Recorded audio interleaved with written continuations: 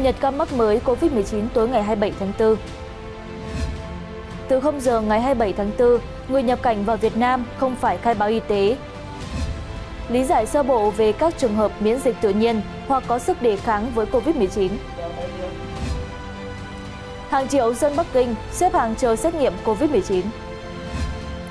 WHO cảnh báo thế giới đang xem nhẹ sự lây nhiễm COVID-19. Huyền Trang xin kính chào quý vị và các bạn đã quay trở lại với bản tin tối trên kênh youtube Báo Sức Khỏe và Đời Sống, cơ quan ngôn luận của Bộ Y tế, nơi cập nhật liên tục những thông tin liên quan đến diễn biến dịch bệnh COVID-19 trong nước và quốc tế. Như thường lệ, mở đầu là cập nhật ca mắc mới COVID-19 ngày 27 tháng 4. Bản tin Bộ Y tế về tình hình chống dịch COVID-19 tại Việt Nam ngày 27 tháng 4 năm 2022. Tình hình dịch COVID-19, thông tin các ca nhiễm mới, Tính từ 16 giờ ngày 26 tháng 4 đến 16 giờ ngày 27 tháng 4, trên hệ thống quốc gia quản lý ca bệnh COVID-19 ghi nhận 8.004 ca nhiễm mới, trong đó có 0 ca nhập cảnh và 8.004 ca ghi nhận trong nước, giảm 427 ca so với ngày trước đó tại 58 tỉnh thành phố, có 6.688 ca trong cộng đồng. Các tỉnh thành phố ghi nhận ca bệnh như sau: Hà Nội 921, Phú Thọ 544, Nghệ An 351, Yên Bái 350, Đắk Lắk 327, Quảng Ninh 304, Vĩnh Phúc 299, Lào Cai 297, Hải Dương 292, Tuyên Quang 250, Gia Lai 245, Quảng Bình 230, Thái Nguyên 227, Bắc Cạn 213, Thái Bình 202, Nam Định 179,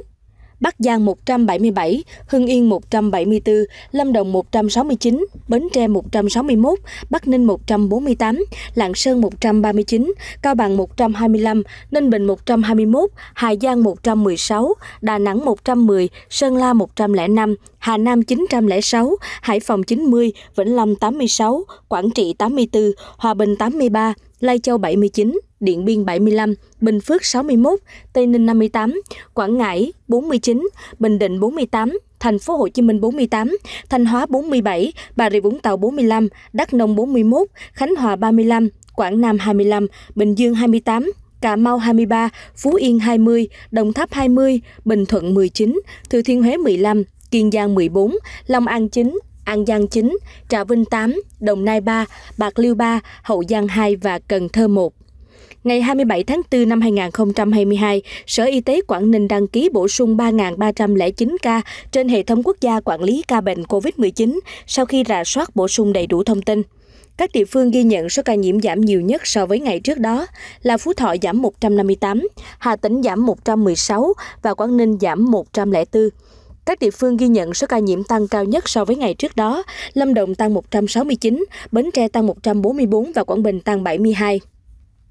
Trung bình số ca nhiễm mới trong nước ghi nhận trong 7 ngày qua là 9.460 ca một ngày. Về tình hình dịch COVID-19 tại Việt Nam, kể từ đầu dịch đến nay Việt Nam có 10.631.516 ca nhiễm, đứng thứ 12 trên 227 quốc gia và vùng lãnh thổ. Trong khi với tỷ lệ số ca nhiễm trên 1 triệu dân, Việt Nam đứng thứ 104 trên 227 quốc gia và vùng lãnh thổ, tức bình quân cứ 1 triệu người thì có 107.469 ca nhiễm. Đợt dịch thứ tư tính từ ngày 27 tháng 4 năm 2021 đến nay, số ca nhiễm ghi nhận trong nước là 10 623.767 ca, trong đó có 9 160.315 ca đã được công bố khỏi bệnh. Các địa phương ghi nhận số ca nhiễm tích lũy cao trong đợt dịch này là Hà Nội 1 583.541, Thành phố Hồ Chí Minh 608.160, Nghệ An 480.717, Bắc Giang 385.033 và Bình Dương 383.309. Về tình hình điều trị, số liệu do Sở Y tế các tỉnh, thành phố báo cáo hàng ngày trên hệ thống quản lý COVID-19 của Cục Quản lý Khám chữa bệnh Bộ Y tế. Về số bệnh nhân khỏi bệnh, bệnh nhân được công bố khỏi bệnh trong ngày là 46.907 ca, tổng số ca được điều trị khỏi là 9 163.132 ca. Số bệnh nhân đang thở oxy là 624 ca, trong đó thở oxy qua mặt nạ 512 ca, thở oxy dòng cao HFNC 47 ca, thở máy không xâm lấn 12 ca, thở máy xâm lấn 52 ca, ECMO 1 ca. Về số bệnh nhân tử vong, Tính từ 17 giờ 30 ngày 26 tháng 4 đến 17 giờ 30 ngày 27 tháng 4, ghi nhận 5 ca tử vong tại Bến Tre 1, Đắk Lắk 1, Đồng Nai 1, Sóc Trăng 1 và Vĩnh Long 1. Trung bình số ca tử vong ghi nhận trong 7 ngày qua là 7 ca. Tổng số ca tử vong do COVID-19 tại Việt Nam tính đến nay là 43.034 ca, chiếm tỷ lệ 0,4% so với tổng số ca nhiễm.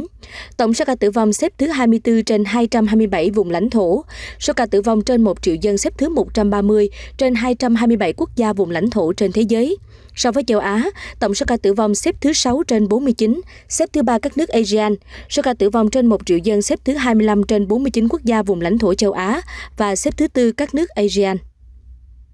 Trước tình hình dịch bệnh Việt Nam đã được kiểm soát ổn định, các chính sách phòng dịch để phù hợp với trạng thái bình thường mới luôn được thay đổi và cập nhật liên tục. Cụ thể, từ 0 giờ ngày 27 tháng 4, Bộ Y tế ra văn bản tạm dừng khai báo y tế COVID-19 với người nhập cảnh vào Việt Nam. Trong văn bản gửi Ủy ban Nhân dân 46 tỉnh, Bộ Y tế quyết định tạm dừng việc áp dụng khai báo y tế COVID-19 tại tất cả các cửa khẩu Việt Nam với người nhập cảnh kể từ 0 giờ ngày 27 tháng 4. Theo Bộ Y tế, hiện dịch COVID-19 ghi nhận tại hầu hết các nước trên thế giới, nhưng đã có vaccine phòng bệnh đặc biệt và hiệu quả với các chủng virus SARS-CoV-2 đang lưu hành. Cùng với đó, dịch có xu hướng giảm số ca mắc và số ca tử vong trên phạm vi toàn cầu trong thời gian gần đây. Tại Việt Nam, dịch COVID-19 được kiểm soát với tỷ lệ tiêm bao phủ vaccine phòng COVID-19 cao. Do đó, Bộ Y tế quyết định tạm dừng khai báo y tế những người nhập cảnh vào Việt Nam từ ngày 27 tháng 4. Tuy nhiên, Bộ cũng đề nghị các tỉnh, thành phố duy trì giám sát hành khách nhập cảnh tại các cửa khẩu theo quy định của luật phòng chống bệnh truyền nhiễm để kiểm dịch y tế biên giới.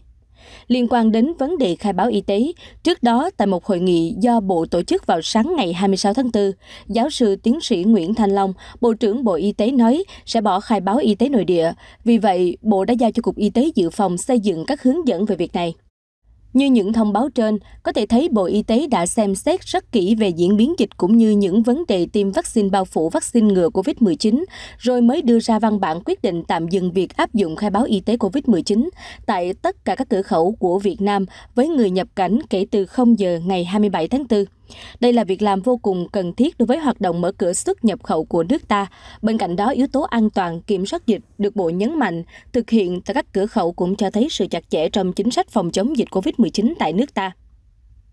Sau 2 năm dồn toàn lực chiến đấu với đại dịch COVID-19, hiện thành phố Hồ Chí Minh lại đang phải ứng phó với dịch bệnh kép là dịch COVID-19 và dịch sốt xuất huyết. Trước tình trạng trẻ nhập viện gia tăng mạnh và đã ghi nhận trường hợp tử vong do nhập viện chế, có thể thấy dịch sốt xuất huyết đang diễn biến ngày càng phức tạp, nguy cơ dịch bùng phát cao. Sốt xuất huyết lây từ người bệnh sang người lành qua trung gian mũi vằn. Năm nay, mùa mưa lại đến khá sớm với thành phố Hồ Chí Minh và các tỉnh lân cận, do đó dịch sốt xuất huyết có nguy cơ lan rộng. Thực tế, thành phố đã có nhiều ca bệnh nặng, thậm chí ghi nhận một số trường hợp tử vong. Theo số liệu thống kê của Trung tâm Kiểm soát bệnh tật thành phố Hồ Chí Minh, tính đến giữa tháng 4, thành phố Hồ Chí Minh ghi nhận gần 4.500 ca mắc sốt xuất huyết dengue.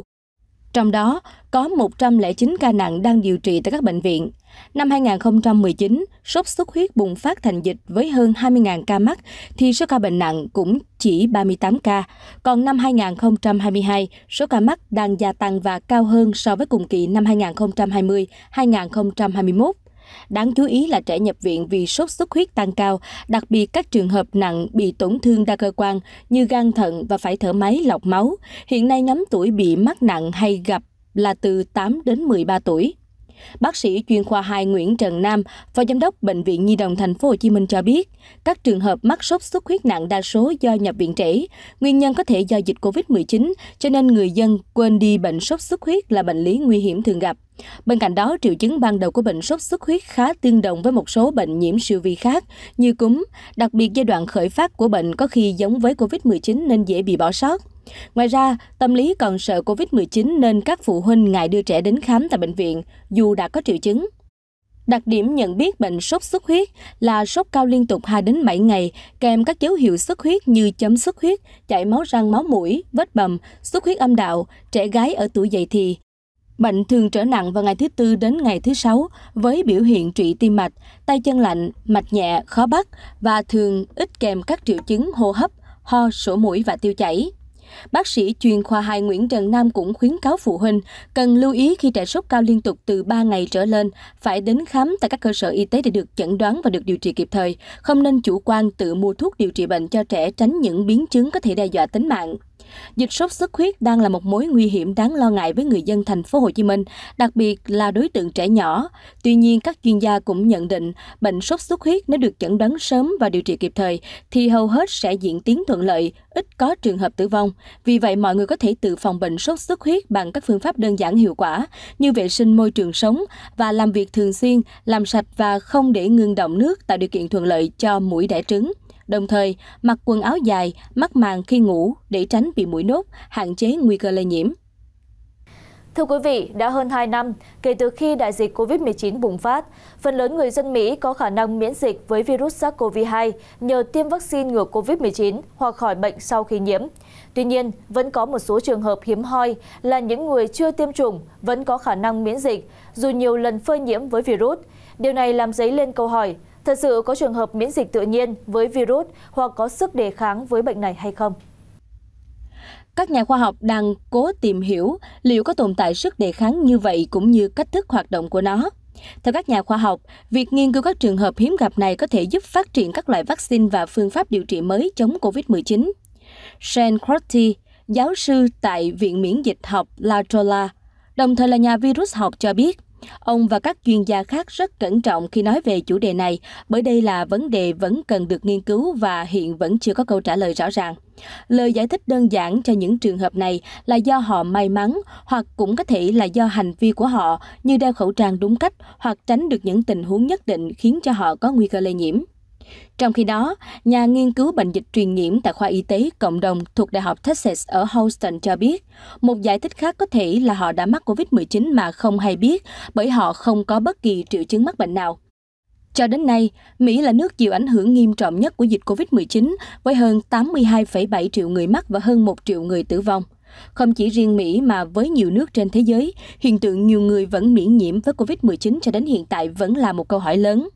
Lý giải sơ bộ về vấn đề này, các chuyên gia chỉ nhận định rằng có thể là trường hợp nhiễm bệnh không triệu chứng hoặc chưa nhiễm do phòng dịch tốt, còn việc người có khả năng miễn dịch tự nhiên với virus hoặc có sức đề kháng với bệnh vẫn đang trong quá trình nghiên cứu. Nhưng nếu thực sự có tồn tại loại kháng thể tự nhiên này ở người, thì đây sẽ là một tín hiệu đáng mừng để tìm ra các phương pháp chống COVID-19 hiệu quả mới, đáng mong đợi. Chuyển sang các tin tức về tình hình chống dịch tại các nước trên thế giới. Như chúng tôi đã thông tin, chính quyền Hàn Quốc mới đây đang tiến hành xem xét các quy định phòng dịch, trong đó có việc cho phép người dân bỏ khẩu trang khi ra ngoài trời. Tuy nhiên, quy định này vẫn đang được cân nhắc dựa vào tình hình thực tế cuối tháng 5 tại đất nước này. Cụ thể, ngày 27 tháng 4, Chủ tịch Ủy ban chuyển tiếp chính quyền của Tổng thống đắc cử Hàn Quốc Yoon suk yeol cho biết chính phủ mới sẽ quyết định có cho phép người dân bỏ đeo khẩu trang khi ra ngoài trời hay không vào cuối tháng năm này. Theo ông Ahn Jong-su, quyết định trên sẽ phụ thuộc vào tình hình thực tế cuối tháng 5, đồng thời cũng lưu ý rằng Hàn Quốc hiện đang ghi nhận số ca nhiễm mới COVID-19 theo ngày cao hơn các quốc gia khác. Phát biểu tại một cuộc họp báo, ông An Chon-su nói, nếu có thể chúng tôi sẽ cho phép bỏ khẩu trang khi ra ngoài, nhưng có thể sẽ bắt buộc phải đeo khẩu trang khi vào trong nhà. Đồng thời, ông lưu ý thêm rằng quy định đeo khẩu trang trong nhà có thể sẽ tiếp tục được duy trì trong một thời gian. Không chỉ Hàn Quốc, nhiều nước trên thế giới cũng đã loại bỏ quy định với khẩu trang trong không gian thoáng. Trong khi đó, một số quốc gia đã xem xét nghiên cứu vấn đề này nhưng thận trọng hơn dựa trên việc theo dõi sát sao quá trình chuyển đổi sang giai đoạn COVID-19 là bệnh đặc hữu trong 6 tháng tới.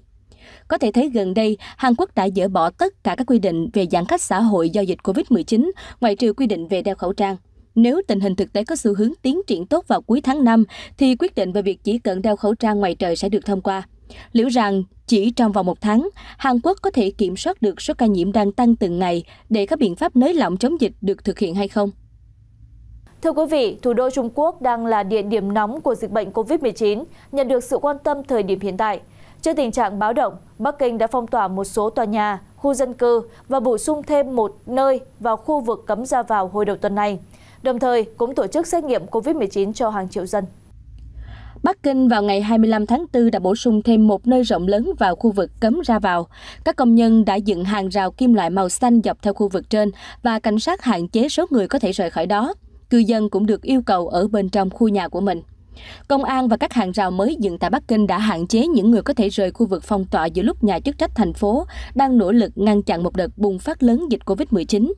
Theo hãng tin Reuters và AP, 3 phần tư trong số 22 triệu dân Bắc Kinh vào hôm 26 tháng 4 đã xếp hàng làm xét nghiệm COVID-19. Giới chức y tế Bắc Kinh vào chiều 26 tháng 4 cho hay, trong 24 giờ trước đó, có thêm 22 ca nhiễm được phát hiện, nâng tổng số người bệnh lên 92 kể từ khi một ổ dịch được phát hiện cách đây 5 ngày. Số người nhiễm ở Bắc Kinh là khá thấp so với Thượng Hải. Tại Bắc Kinh, chưa có ca tử vong nào do đợt bùng phát mới. Thông báo ban đầu về việc làm xét nghiệm COVID-19 tại quận Đông Dân tại Bắc Kinh đã làm bùng lên làn sóng mua sắm tích trữ tại thành phố này vào hồi đầu tuần. Tuy nhiên, tình hình đã lắng dịu, phương tiện giao thông công cộng hoạt động bình thường và các con đường vẫn chật kín người đi lại. Giang Di Phan, một cư nhân tại điểm làm xét nghiệm COVID-19 tại quận Đông Chen nói, Tôi không lo lắng về việc Bắc Kinh sẽ thiếu hụt hàng hóa, vì thế tôi có kế hoạch tích trữ. Vì nhiều người tích trữ đồ mù quáng nên có thể gây thiếu hụt hàng hóa.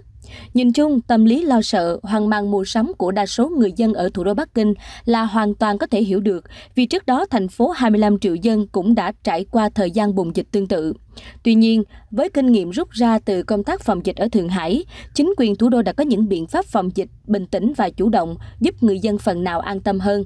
Với việc phong tỏa nhiều địa điểm hạn chế người dân ra ngoài, đồng thời tổ chức xét nghiệm hàng loạt cho hàng triệu người dân, hy vọng dịch bệnh tại Bắc Kinh Trung Quốc sẽ sớm được kiểm soát và có chiều hướng tích cực trong thời gian tới. Theo tin tức vừa nêu trên, đến ngày 26 tháng 4, 3 phần tư trong số 22 triệu dân Bắc Kinh đã được lấy mẫu xét nghiệm COVID-19 trong nỗ lực dập dịch sớm của thành phố.